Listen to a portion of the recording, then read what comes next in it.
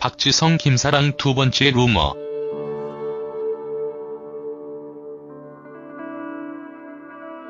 캡틴 박 박지성이 배우 김사랑과 또 한 번 결혼설에 휩싸였다. 14일 새벽 SNS에는 L호텔 직원의 말을 인용해 박지성과 김사랑의 9월 결혼설이 나돌고 있어 네티즌들의 눈길이 쏠렸다. 트위터 상에는 조금 전 박지성 김사랑이 L호텔 예약자 명단에 올라왔답니다. 9월에 결혼 확정이라고 하네요라며 결혼에 대해 상세히 적혀 있어 신빙성을 높이기도 했다. 앞서 박지성과 김사랑은 한 차례 열애설에 휩싸인 바 있어 이번 결혼설에 네티즌들은 사실일 가능성이 크다는 의견이 지배적이다.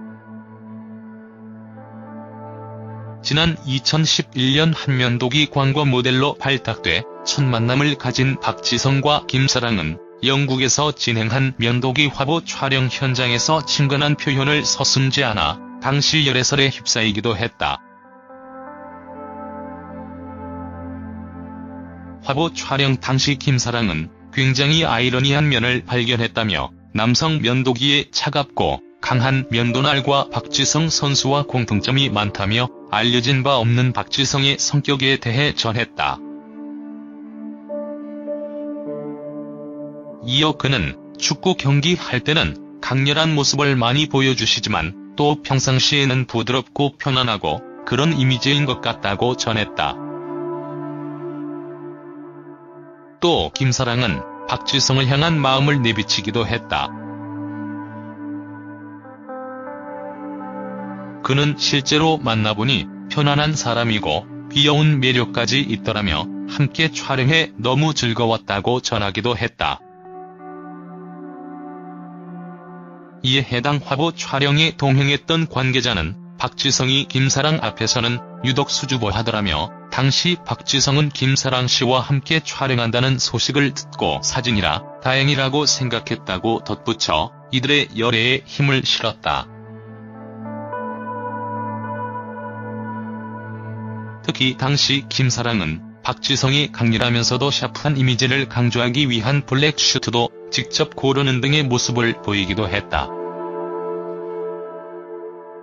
이후 박지성은 한 매체와의 인터뷰에서 김사랑과 광고 촬영 후 연락은 하느냐는 질문에 연락을 하지 않는다고 대답했다. 이어 김사랑 같은 여자친구 스타일은 어떤가라는 구체적인 질문에 박지성은 노코멘트 하겠다라는 말과 함께 웃음을 지어 보여 이들의 열애의 궁금증을 보태기도 했다. 한편 박지성과 김사랑의 결혼설에 대해 김사랑 소속사 사이더스 HQ 측은 사실무근이라고 말했다. 이어 박지성 측 관계자 또한 본인에게도 확인을 해봤는데 황당해 했다며 만약 두 사람이 사귄다면 우리가 숨길 이유는 없다. 하지만 아닌 것은 아니다.